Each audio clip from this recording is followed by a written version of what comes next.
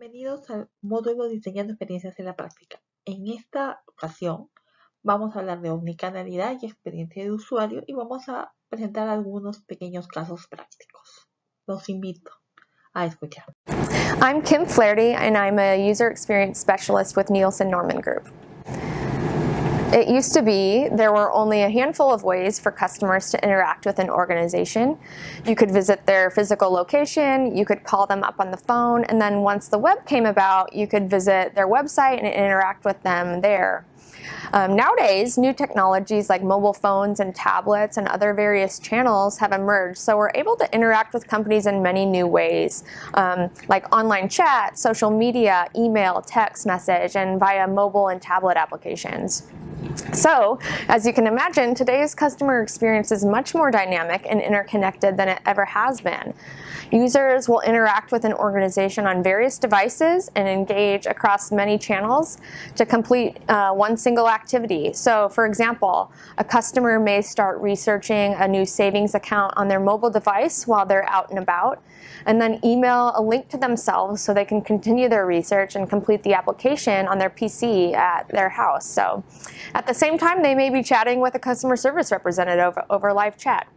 So each of these inter individual interactions with organizations and even the experience that those users have transitioning from one channel to the next, they all come together to make up a larger, more holistic user experience called omnichannel user experience, which is also often referred to as cross-channel user experience.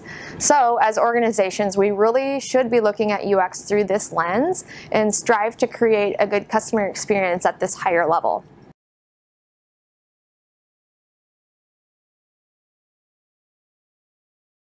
En este video veremos de qué trata una experiencia de usuario omnicanal, cuáles son sus conceptos claves y los principios que la rigen.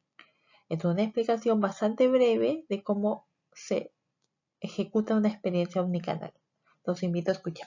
Uh, customers are interacting with organizations across up to 10 different channels, email, web, social media, uh, iPhone applications, tablet applications, smartwatch applications, kiosks, and that list continues to grow. So for organizations to position themselves in a place to be able to deliver on these high quality customer journeys, it really takes some changes behind the scenes. And the changes that it this is going to take really requires buy-in and investment from organizational leadership.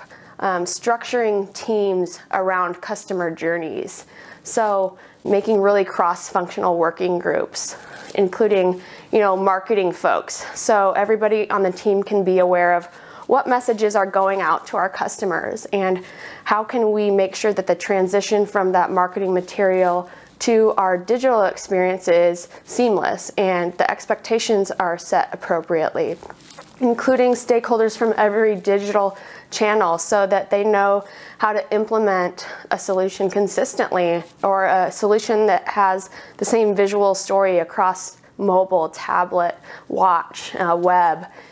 Also bringing technology stakeholders into the mix so that they can really be aware of what type of experience that the project is trying to create. And so they can make the right technical decisions and invest in the right third party products to really support those kinds of experience from an infrastructure, infrastructure perspective.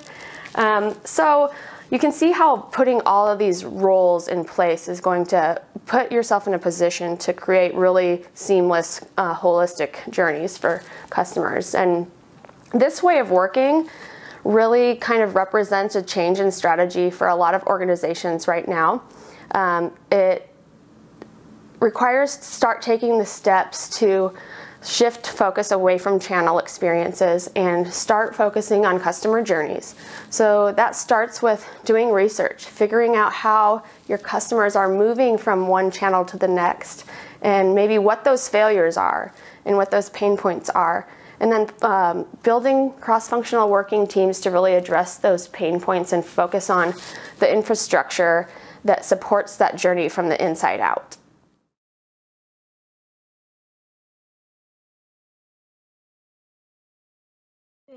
podremos conocer algunas experiencias omnicanales exitosas y cómo es que han podido llegar a lograr ese éxito esperado. los invito a escuchar. Los casos exitosos de los que podemos hablar es el caso Cinemark, que han realizado todo un diseño de experiencia unicanal donde han trabajado contenidos para web, para app e incluso contenidos para plataformas multimedia dentro de los propios cines. Uno puede comprar desde la app o desde la web una entrada y poder acceder el cine sin necesidad de tener que comprar una entrada en el mismo cine, sino simplemente validando tu entrada comprada de manera online. Asimismo, también puedes adquirir tus snacks que has comprado previamente al momento de comprar tu entrada y puedes luego ir y reclamarlos en el espacio destinado para lo que es pedidos online. Una de las experiencias omnicanal más exitosas que podemos conocer es la de Disney. Disney ha podido integrar todas sus plataformas digitales, no solamente entre ellas, sino también con dispositivos asociados como son las pulseras con las cuales tú puedes cargar información de tu ruta o de las actividades que has programado o de los entretenimientos que has comprado y puedes pagar tranquilamente tu entrada con la pulsera. ¿Por qué? Porque has adquirido ya las entradas y solamente las validas. Entonces tú puedes ir preparando tu experiencia Disney desde incluso antes de haber llegado a ella a través de cualquiera de las plataformas que están disponibles, sea app o sea web, e integrarlas con tu pulsera de experiencia Disney. Finalmente, para cerrar este módulo y esta semana, tenemos nuevamente dos preguntas de autoevaluación sobre el aprendido. ¿Cuáles son? Una, ¿conocemos otros casos de buenas experiencias omnicanales? Coméntanos por qué consideramos que son buenas experiencias. 2. Reflexionemos. ¿Tu organización ofrece una experiencia aislada multicanal u omnicanal? ¿Qué haría falta para que pueda lograr la omnicanalidad esperada?